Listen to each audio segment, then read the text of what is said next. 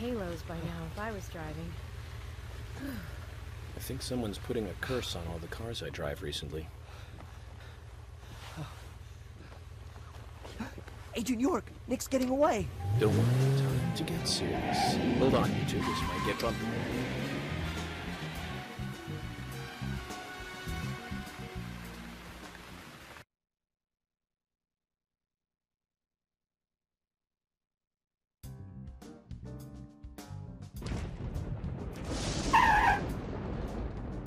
Nick here? George, No, he hasn't showed up here. what about Diane? Any movement? No action here at all. Did something happen? Yes, a little. But George, something's different about you. Are you okay? Actually, I had a little drink while I was waiting. This is my first murder case, after all. I'm on edge, and I needed one. It was only a little, though. I'm still in control.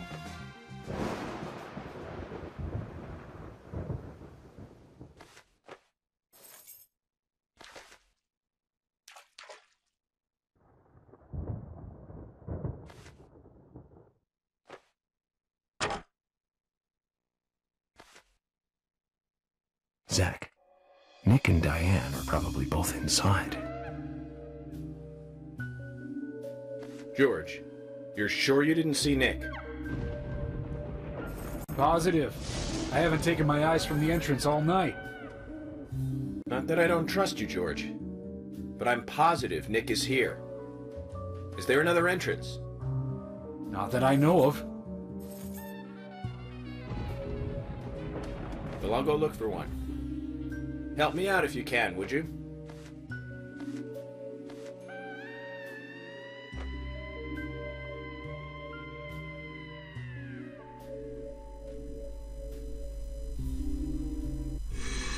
Und damit herzlich willkommen zurück zu Let's Play Deadly Premonition. Ja, wir sollen einen Seiteneingang finden. Und ich könnte mir vorstellen, dass das, was ich im letzten Part gesagt habe, vielleicht tatsächlich zutrifft. Da ist geschlossen, ja. Wir sollen einen Seiteneingang finden. Und ich kann auch mal mit George quatschen. Es ist kein Wagen gekommen und Nick habe ich auch nicht gesehen. Doch, doch, das tue ich, George. Hä? Darum geht es ja auch nicht. Achso, glauben Sie mir nicht, hätte er wahrscheinlich doch sagen sollen. Okay, also ich gehe erstmal kurz hier. Ah, guck mal hier. Was ist denn das? Normalerweise kann man das doch anwählen, wenn da irgendwelches Gelump ist. Oh, wen haben wir denn da hinten? Tja, machen wir mal, ne?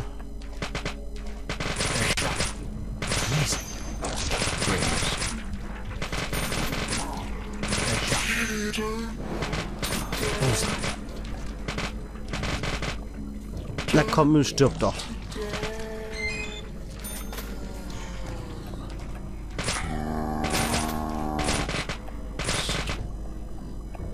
Ihr haltet aber ganz schön viel aus hier.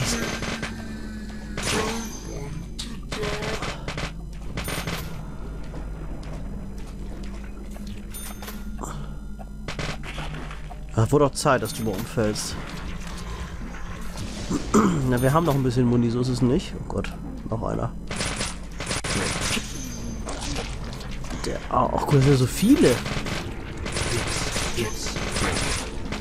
Okay, das sind eine ganze Menge. Ich glaube, dass wir hier weg sollen. Oh, fuck. Ich versuche mal durchzulaufen. Ich habe das noch nie gemacht zwar, aber okay. Das ist ein bisschen viel, ne? Ich gar nicht lang.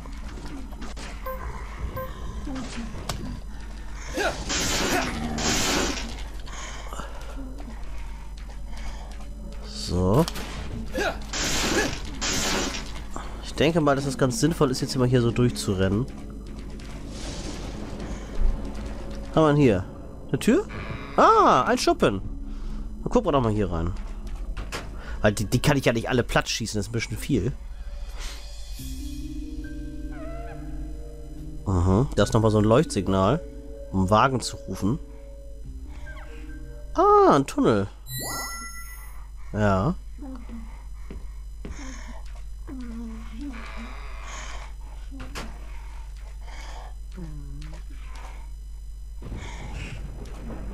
Wie bist du denn hierher gekommen, durch die ganzen Leute? Emily, I want you guys to. Wait out here, I know. I'm not gonna fight you about this anymore. But promise me this. If there's trouble, then you'll call us in, okay? Das ist jetzt ja definitiv der You Beweis might not think so, but we're a team. A Team. That's what I think, at least. And I'm interested in you and Zach. I don't want anything to happen to you before I hear more about you two. Aha. Äh, was ich sagen wollte ist, das beweist jetzt ja, dass nur wir diese Viecher sehen können, weil sie ist ja anscheinend ganz normal durchgelaufen und hat auch keinen Schaden äh, genommen. Das heißt, nur wir sehen diese Viecher, das ist jetzt klar. Toll, ich wollte eigentlich das Leuchtsignal mitnehmen, egal, vielleicht kommen wir hier noch wieder raus. Jo, Action ist wieder angesagt. Na gut, dann gucken wir uns hier mal um. Sie sind hier, Zack, ne? Kommt jetzt gleich wieder. Zach, did you hear that? She wants to know more about you. Isn't that a nice surprise? Amazing. Aha. Und ich glaube, meine Befürchtung bewahrheitet sich. So, darf ich jetzt? Ich darf. Sehr schön. Stahlrohr haben wir gesagt. Oh, ja, okay. Wir, wir nutzen mal das Telefon, denn erstens haben wir genug Kohle, sollte es Geld kosten. Und zweitens ist es nie verkehrt, seinen Fortschritt zu speichern, wenn man darf. Außerdem betreten wir wahrscheinlich ja gerade wieder so eine Silent Hill Area. Ne? Und deswegen machen wir das mal. So. Stahlrohr. Ich glaube, ich wechsle mal lieber zur Maschinenpistole. Lad die nach. Okay. Okay, ist mal ein anderer Boden. Hat ein bisschen was von den Kanalisationsgängen, finde ich, bei Resident Evil 1.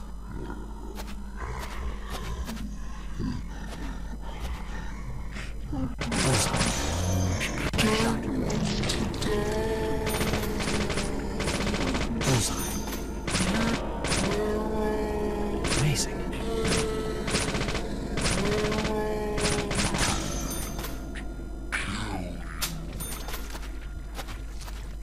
Interessant, ne?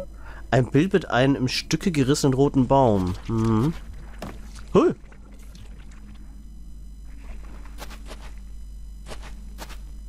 Okay, es ist einfach nur von der Wand gefahren. Ich dachte, da wäre vielleicht noch was passiert. Hm. Bin ich jetzt einfach nur im Kreis gelaufen, oder? Ja, bin ich. Okay.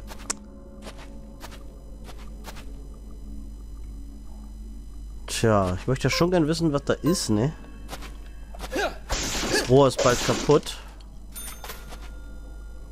Da, da ist was, okay.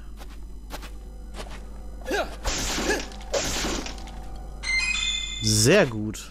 Ah, die kommen ja wie gerufen. Also es lohnt sich durchaus, die Sachen mal kaputt zu hauen. Was ist denn hier? Das ist ja nur was zum Einsammeln, wie es aussieht. Ein Einsatz. Ja, packen wir den Kasten. Das Messer brauche ich nicht. Obwohl jetzt, ah, jetzt ist das Stahlrohr fast kaputt, ne? Vielleicht hätte ich es doch lieber nehmen sollen. Na egal. Ich habe ja aktuell ganz gut Munition. Können wir das öffnen? Nee. Das, ist, das sind nur Gemälde, glaube ich. Naja, keine Türen. Da liegt was am Boden? Nee, schade. Sah so aus. Da ist auch wieder ein Baum. Da ist eine Menge Blut. Blut, das Blutstropfen von der Decke. Das Blut ist noch frisch.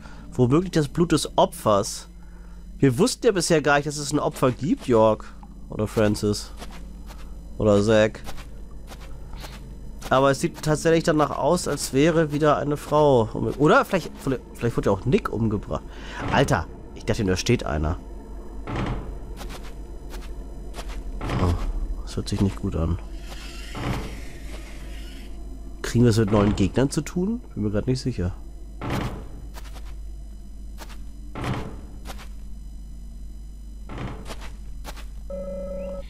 Ein blasses Porträt vor einem roten Hintergrund. Unheimlich.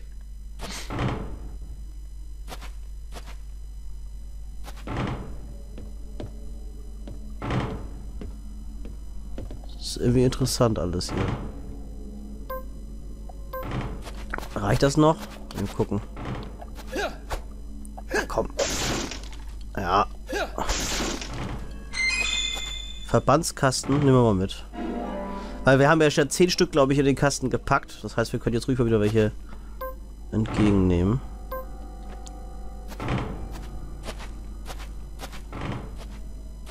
Oh oh. Da bricht doch gleich was durch die Wand.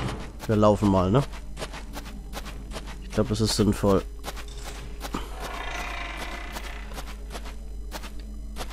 Oh, fuck.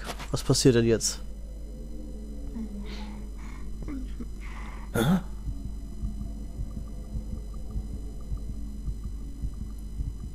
Bin ich jetzt wieder praktisch in so einer Endlosschleife drin? Oh Gott.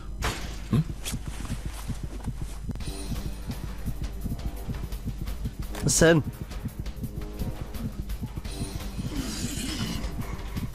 Oh.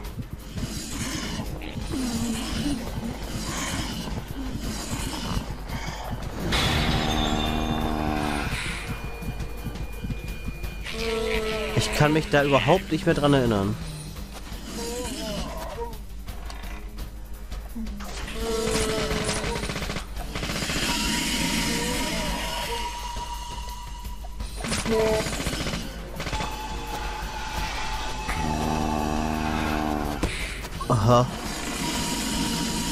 Schießt mit irgendeinem Scheiß. Ist interessant.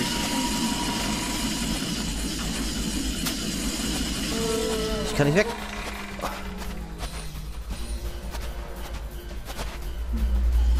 Okay.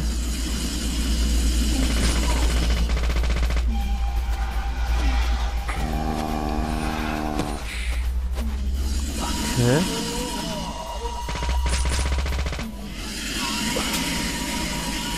Interessanter Gegner.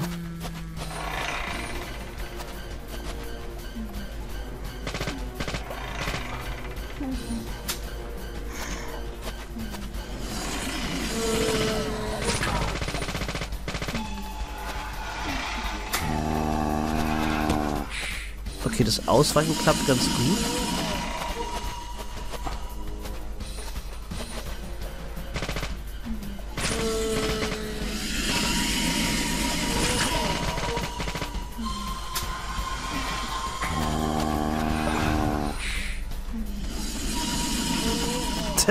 Interessant.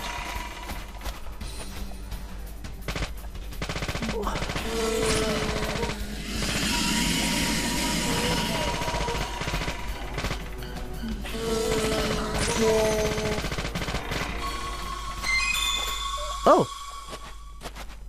Verbandskasten, nur mit.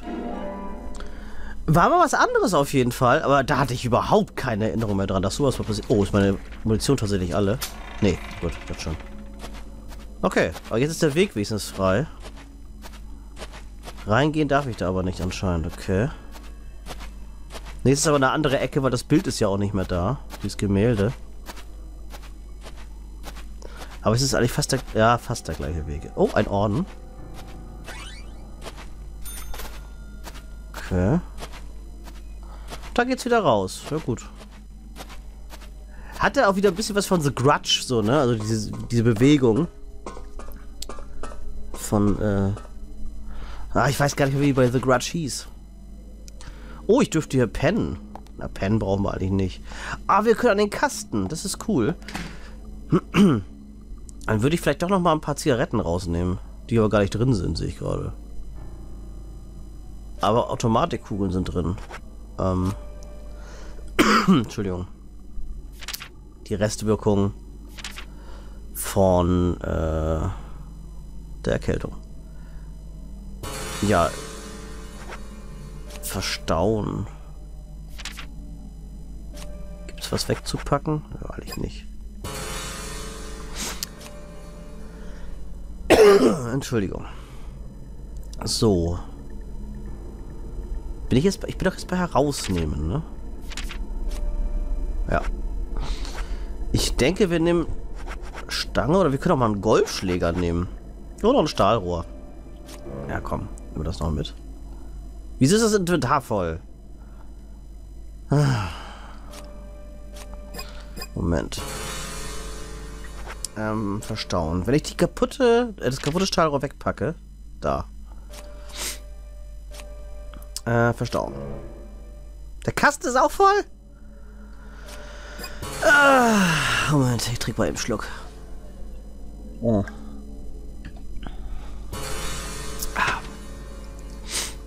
Der Kasten ist aber sehr klein. Was haben wir denn hier noch alles?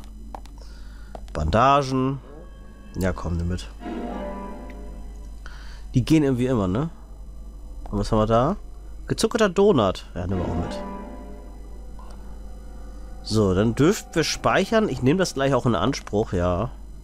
Klamottenwechsel will ich jetzt eigentlich noch nicht. Das machen, ich finde, das sollten wir im Hotel machen. Ja, wenn wir morgens frisch aufstehen oder so. Und jetzt hier nicht mitten am Abend. Warum soll ich da jetzt die Klamotten wechseln? Das ist auch irgendwie Quatsch. Okay. Ähm, ja, bitte. So.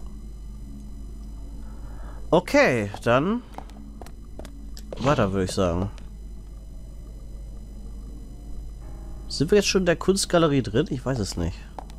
Eigentlich müsste man das ja langsam sein, ne? Gucken wir zum Fenster. Es ist zu neblig. Ich kann kaum durch das Fenster sehen. Ah, ich sehe schon was. Moment. Na?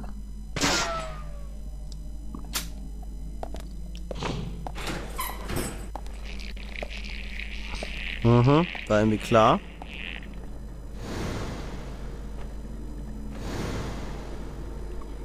Alle haben so einen Apfel in der Hand, ne? Er nicht. Okay. Doch auch. Alle haben einen Apfel in der Hand.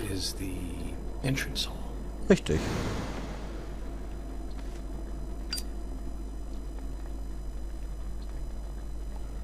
Wieso ist auf seinem Feuerzeug ein Rauchen verboten Schild? Ich finde das irgendwie interessant. Dann machen wir mal ein Profiling. Mal gucken, wie viele Symbole wir wieder finden dürfen. Okay, man erkennt erstmal nichts. Du? What are you doing here? Aha. So it was you. Much more astonishing than I imagined. I'm impressed.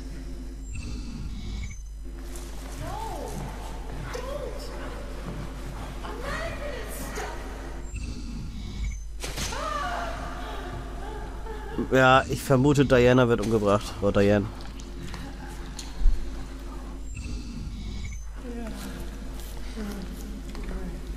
Aha. Gut, wir erkennen natürlich jetzt noch nicht besonders viel. Und das Profiling würde ich sagen, machen wir dann, äh, wenn wir alle Hinweise dann gefunden haben, weil dann bringt es ja auch am meisten. Aber ich glaube trotzdem nicht, dass es äh, Nick war. Der kam jetzt zufällig rein, denke ich, und dann war sie schon tot. Könnte ich mir vorstellen. Too much noise. We're still missing a vital piece of the puzzle. Das sagt er auch immer wieder, aber ich mag den Satz. Okay, dann schauen wir mal, ob wir ein paar Puzzlestücke finden. Drei oder wie viel dürfen wir finden? Ja, drei. So, Information. Ja, gibt's hier irgendwas? Nö. Kann ich auch nichts lesen hier. Ich kann mir hier was angucken. Ablegen. Ah, wir müssen wahrscheinlich Äpfel finden. Da einen roten Apfel. Ein bisschen Resident Evil Rätsel, wa? Ich wollte da. Ein Gemälde eines Mannes, der unverwandt in die Ferne sieht. Er hält einen roten Apfel. Mhm. Das ist cool. Ey, das ist auch mal ein geiles Bild hier. Das sind ja die Viecher, die er immer sieht. So, aber wir haben noch keinen roten Apfel, deswegen können wir da auch nichts ablegen aktuell. Na gut, dann schauen wir mal. Gehen wir mal die Treppe hoch. So, das ist ein Baby, was einen grünen Apfel hält, würde ich sagen. Ein Gemälde mit einem Baby, das einen blauen Apfel in seinen winzigen Händen hält. Blau. Das ist für dich ein blauer Apfel. Also entweder bin ich extrem farbenblind oder... Na gut, wenn er das meint. So. Äh, mein Bruder hat, hat tatsächlich eine Rot-Grün-Schwäche. Also der äh, hat sich dann irgendwie durch den Führerschein gemogelt Weil er hat halt immer gesehen, dass es oben bei der Ampel leuchtet oder unten bei der Ampel leuchtet. Aber er hat bis dahin Tatsache geheim halten können, dass er eine Rot-Grün-Schwäche hat. Das kam erst viel später raus. ja, ja. Weil normalerweise, glaube ich, darfst du gar keinen Führerschein machen dann, ne? Ich weiß es gar nicht.